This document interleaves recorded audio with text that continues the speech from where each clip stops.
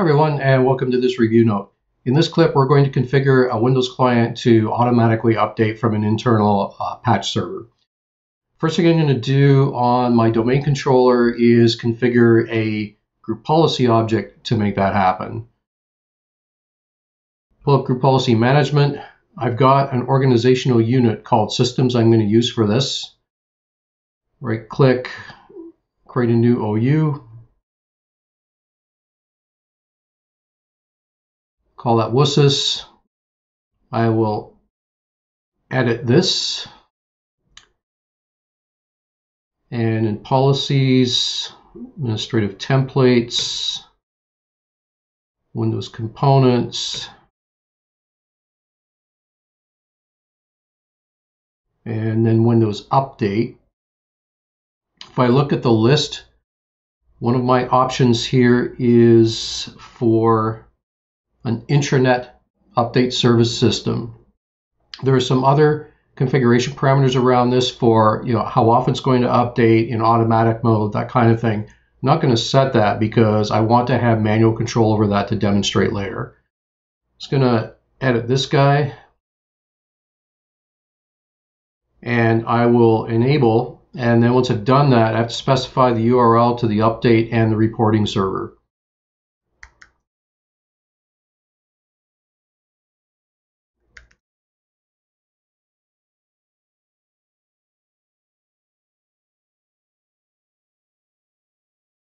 So that's my URL, FQDN to the uh, server port 8530. And remember we said before this is a web service, so it's an HTTP method.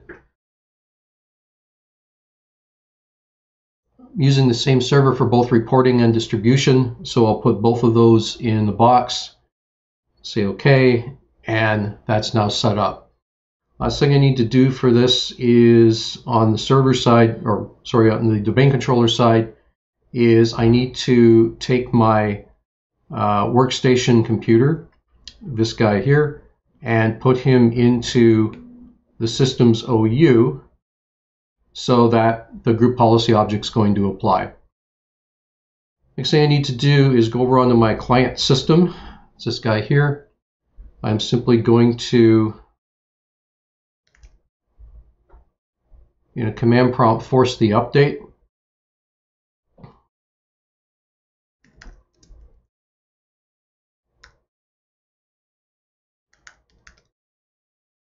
Once that's done, I'll reboot.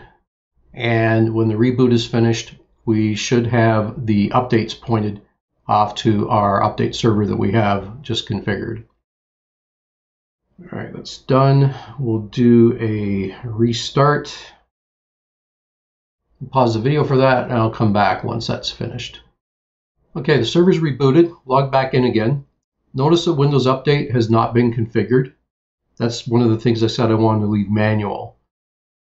So I'll launch that, and I'm going to turn on automatic updates. It's going to check, and it won't find any because we haven't uh, proved any yet. But one thing I want you to notice is we receive updates. It's managed by the system administrator.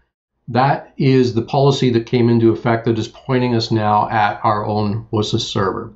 And once we've actually approved some updates, then they'll be able to be installed. It's a wrap for this tutorial. Hopefully this has been helpful for you, and we'll see you next time.